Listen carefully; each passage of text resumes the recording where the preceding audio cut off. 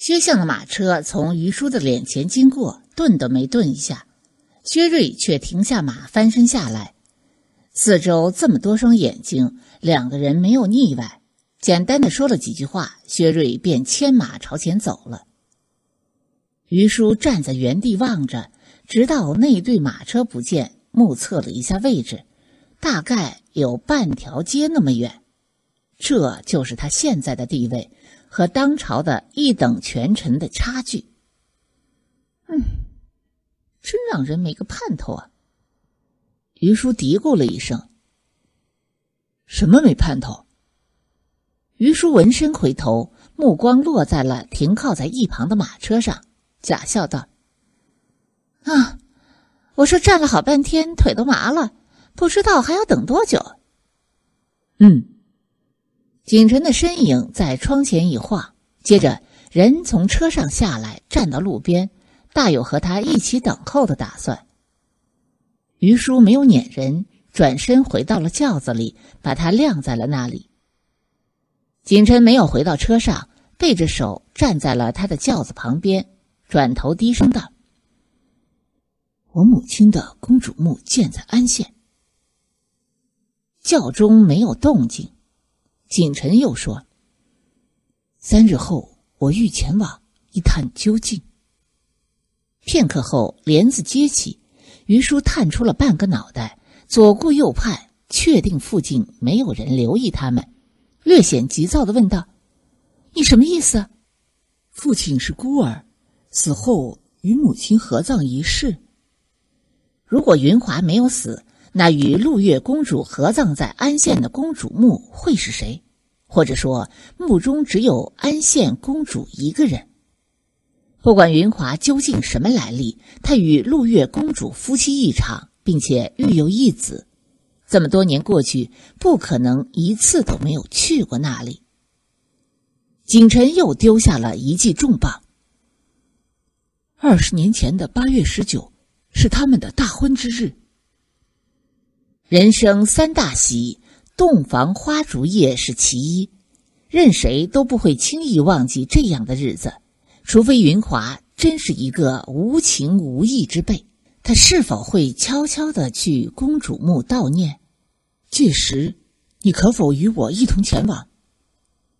于叔目中思索，点头道：“嗯，我去。”云华的身上藏着太多的秘密，能够找到他，看清楚玄女六任书，他就能尽快的找到一条出路，不会这么被动的等人宰割。于叔对于能够参加宫宴里举办的中秋宴，远不比封建的皇权社会下土生土长的官员感受深刻。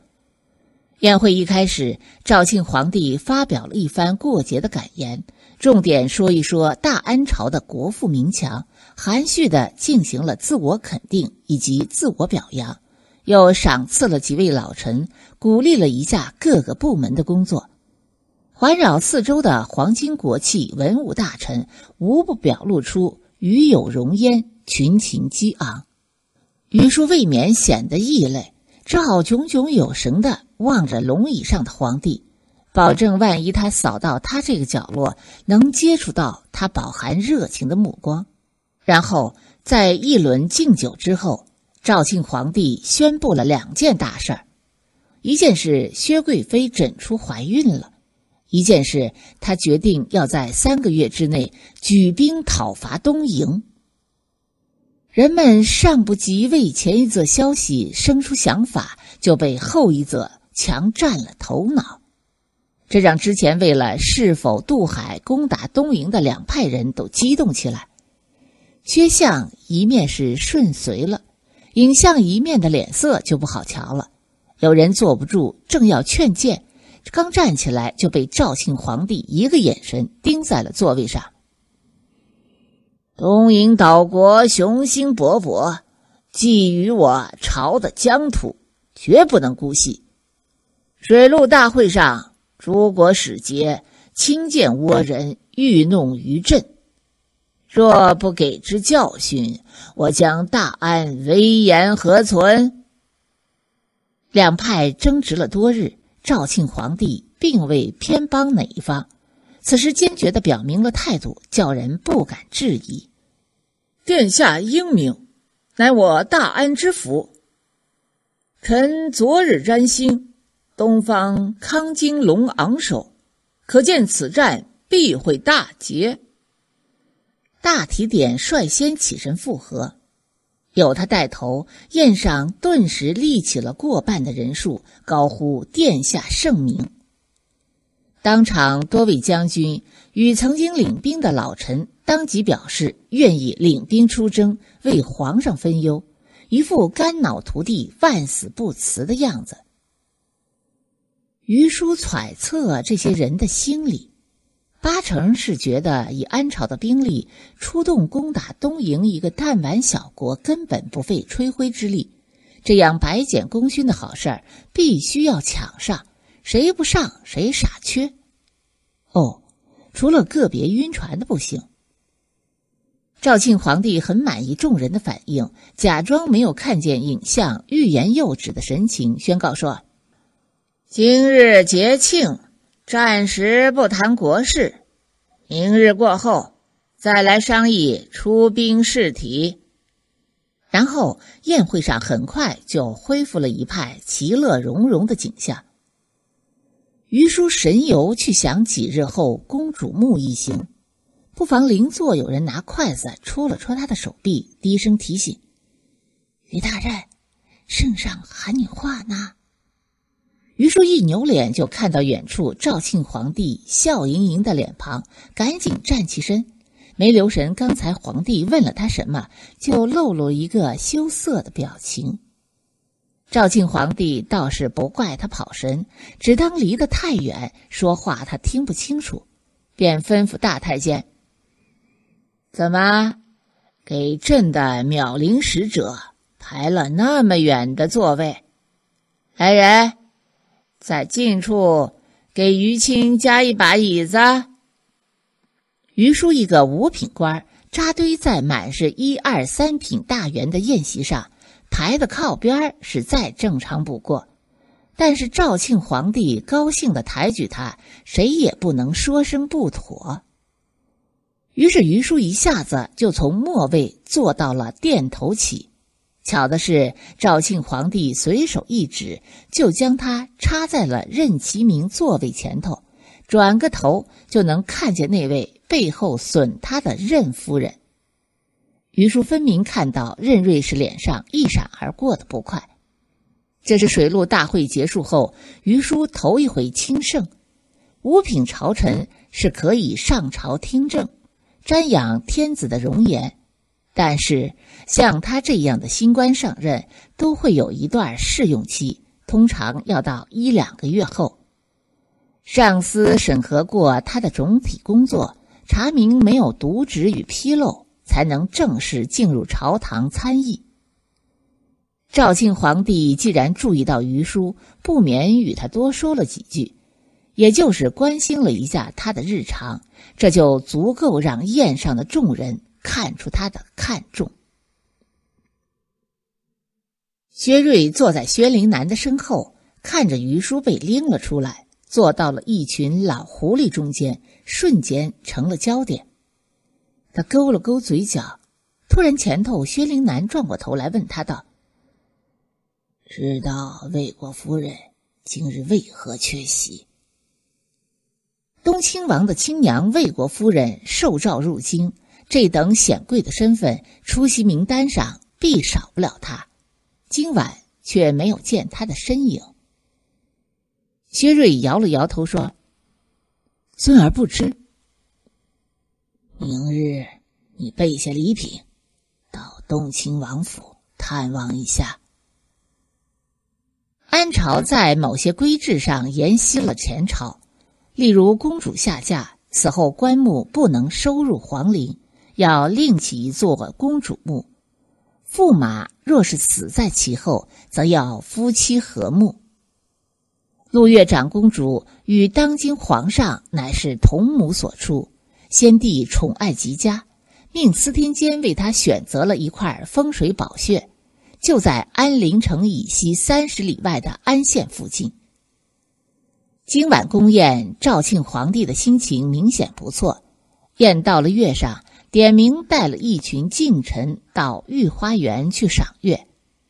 赵庆皇帝兴致上来，就命人吟诗作对，表演才艺。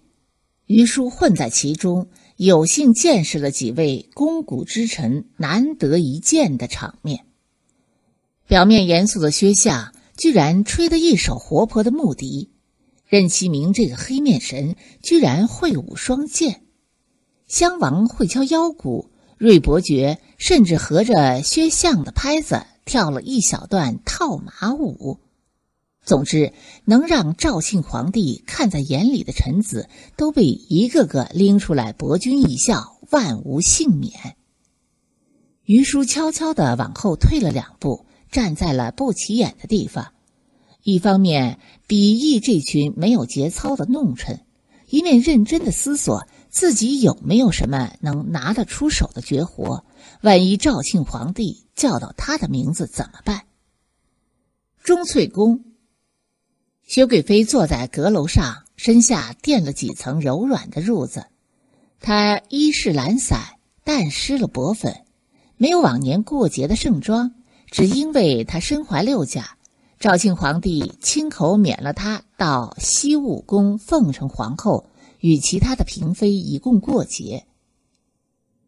丈长的龟脚案上摆满了瓜果拼盘，但是各式各味的月饼盘子，酥甜的、香咸的、莲蓉的、肉腻的，就足足摆了二十多份。贵妃的份列只有八盘，多出来的一半都是皇上赐给的，还有一半是御膳房的孝敬。宫里头多的是看碟下菜的奴才。薛贵妃怀孕，西务宫挨打的风声一早传遍了廷业，从上到下都是赶来巴结的。贵妃宫里的人憋了这几年，最近总算是扬眉吐气了一把。刘谭规规矩矩的坐在长案的另一侧的扁凳上，一动不动的看着正在亲手为他剥橘子的母亲，面前的酒杯被换成了茶水。来过之前，他特意更换了带有酒味的袍子，以免熏着了母亲。难得佳节，赵庆皇帝特许了几个出宫见父的皇子与他们的母亲团圆，除了被轰出京城的四皇子和十一皇子。刘谭年幼离京，三年一返，十年间与薛贵妃见面的次数屈指可数。但这不妨碍他对薛贵妃的一片如沐之情。这对母子之间几乎没有什么闲聊的话题。薛贵妃不向他诉苦后宫的秘辛，刘谭也不向他多讲前朝的事情。只是后宫的门禁快到了，一旁盯着滴漏的陶嬷嬷提醒了一声。刘谭这才对薛贵妃说起了他有意请于叔为他占卜凶吉一事，征求他的同意。薛贵妃整晚温柔似水的眼神微微一荡，看着眼前不知不觉褪去了青涩的儿子，问：“这是谁给你出的主意呀？”刘谭说道：“是儿臣担心母妃。”薛贵妃顿时是笑靥如花，嗯，那就这么着吧。昆凌局藏有本宫的命帖，不过没有你父皇的口谕，料想他们不敢擅动。正好过两天我要传唤于女玉进宫，届时当面和她一说，就不必惊动皇上了。宫女子在进宫之前，都会由司天监审核生辰八字，批注一张命帖，通通的抄录成两份，一份锁在上宫局，一份封存在司天监。像薛贵妃这样的品级，她的命帖绝不是谁人随便可以拆开的。薛贵妃自己清楚那上头写的什么，却没有省省事儿，直接告诉刘谭，让他转告。刘谭倒没多想，只当他母亲不放心于叔，要当面交代他。看着时辰不早，他没有再留恋，起身告辞。钟粹宫的大宫女宋兰引他出去，在门道上遇见了一个匆匆跑进来的宫女，朝他蹲身一伏，然后在宋兰的示意下快速的离开了。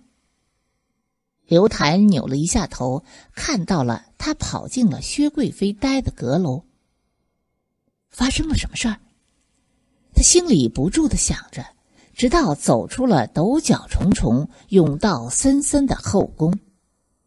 而薛贵妃这边则因为刚刚听到了一个消息，推迟了下一炷香才更衣睡下。被禁足在宁王府的七皇子，不知如何征得了肇庆皇帝的许可，今晚一声不响的进了宫，没有参与前朝的宫宴，而是在永乐宫待了两刻时。中秋宴后第二天，肇庆皇帝在早朝上重申了昨晚要举兵讨伐东瀛的决定，让文武百官推荐领兵者。然后快要散朝的时候，寻了一个由头，解除了宁王的禁足。在沛县发生的钦差无头案，让十一皇子刘毅落马，设计圈套的刘浩也没有得到便宜，因为涉案被肇庆皇帝禁足了三个月。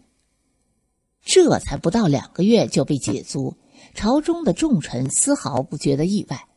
毕竟肇庆皇帝偏爱七皇子是众所周知的事情，于是当天下午一直闭门谢客的宁王府外就恢复了车来车往，仿佛前边几十天的冷清从没有过。于叔是从薛瑞那里听到了这个消息，昨晚上在宫里头没赶上说话，上午薛瑞派人到司天监捎话，约好了两人中午就近找家馆子打发午饭。哼，便宜他了。于叔皱着眉头闷了一口酒。沛县那回，刘浩差点应了薛瑞和他两个，杀了一个钦差，就这么让刘毅给他背了黑锅，不痛不痒的关了几天作罢。秋凉了，薛瑞将他面前的凉菜盘子挪走，换上了煮得烂烂的熟肉。免得他喝了冷酒，胃里头没东西垫着，到了晚上难受。说好了要禁他三个月，就这么提前放出来，御史就没什么说的。薛瑞摇了摇头，嗯，眼下人人盯着讨伐东瀛一事，国事当前，没谁闲着无事去找宁王的不自在。那他也真是赶上好时候了。于叔不想再提宁王这个阴人，转而告诉薛瑞，他过两天要和景臣一同去安县探查公主墓。不行，我不赞成你去。为什么？这可是个难得的机会，说不定我们真的能逮住云华呢。哼，景臣能想到的，你以为皇上和大提点想不到吗？若是云华这么容易就被逮到，他早就让人活捉了，还等到你们想起来吗？你这一去，见不到云华不说，甚有可能给人可乘之机，再害了你性命。别忘了，宁王虎视眈眈的，想要置你于死地呢。于叔也有他的道理。你说的我都想过了，但是这回不一样，不是有景臣吗？景城回京那么大的动静，云华活着不可能不知道。公主死了二十年，就剩下这么一个儿子活在人世，难道他会不想见他一面？在京城森严戒备，他或许不敢露面。到了安县那偏僻的地方，他没准儿会与景纯相认呢。薛瑞少有的和他意见不同，这是你的想法。你不是说过吗？